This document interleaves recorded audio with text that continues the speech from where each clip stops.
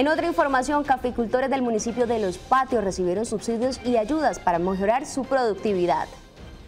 La problemática que fue visualizada por Oriente Noticias antes del inicio de la pandemia ya no será un problema para la comunidad tras el anuncio hecho por las autoridades educativas del municipio, donde se priorizaron los recursos para la readecuación de las dos aulas de clase que estaban a punto del colapso y una nueva cubierta en las áreas deportivas de la sede educativa Primero de Mayo.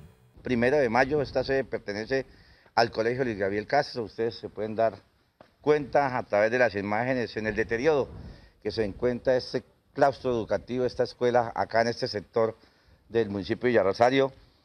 Adquirimos un compromiso con la comunidad educativa, con los padres de familia. Las autoridades educativas del municipio además manifestaron que las obras iniciarían a mediados del mes de noviembre y que se extenderían hasta el primer trimestre del próximo año con el fin de que la sede educativa quede para el uso de los estudiantes a mitad del 2021. Con el señor alcalde estuvimos visitando, estuvimos mirando las necesidades que tenían, la, la comunidad estaba pidiendo que el salón, específicamente de estos dos salones de la parte de arriba, tienen un problema con la cubierta que tienen mucho peso para la viga. Y lo que vamos a hacer es a cambiar esta cubierta, a darle un reforzamiento estructural.